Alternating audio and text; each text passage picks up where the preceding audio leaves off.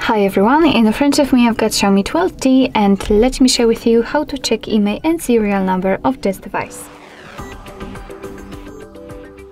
So basically we've got two different ways to check those numbers. The first one requires a secret code and it is the fastest way to check the numbers.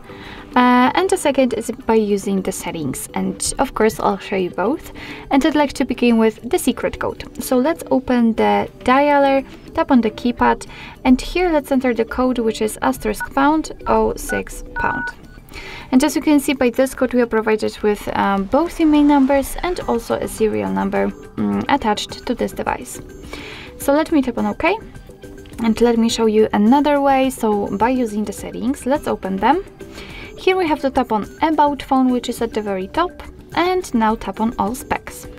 Here let's scroll down to the status and as you can see right here in the device device details we've got both IMEI numbers for both SIM slots and if you'd like to check the serial number which is because as you can see it is not here let's tap on model and as you can see the serial number is right here so basically that's all. This is how to check IMEI and serial number using two different ways in your uh, Xiaomi 12T.